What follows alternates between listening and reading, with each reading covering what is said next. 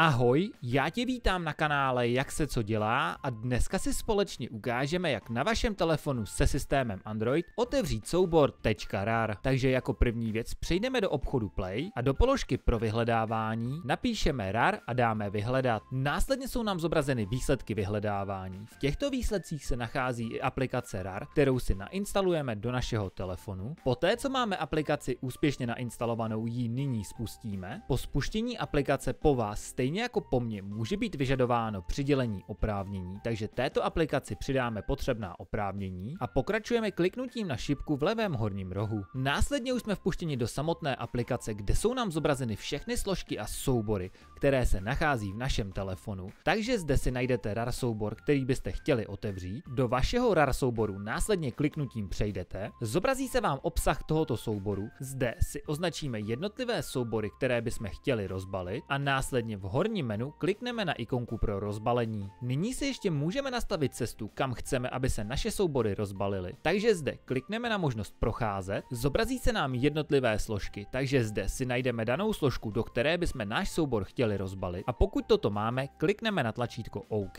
Následně opět pokračujeme dál kliknutím na tlačítko OK. Tímto je vše hotovo a naše soubory byly ze souboru RAR rozbaleny, takže nyní už s nimi můžeme bez problémů pracovat. Tyto rozbalené soubory následně můžete najít ve vašem telefonu pomocí aplikace soubory. Já jsem si rozbaloval zvukový soubor, takže v kategorii vyberu možnost zvukové a zde už se nachází daný soubor, který jsem si rozbaloval. Stejně tak můžete jednoduše dohledat soubory i vy. Pokud se ti video líbilo nebo ti pomohlo, tak tam určitě nezapomeň dávat like. Pokud znáš někoho, komu by video mohlo pomoct, tak budu moc rád za sdílení a já se na tebe opět budu těšit na kanále Jak se co dělá.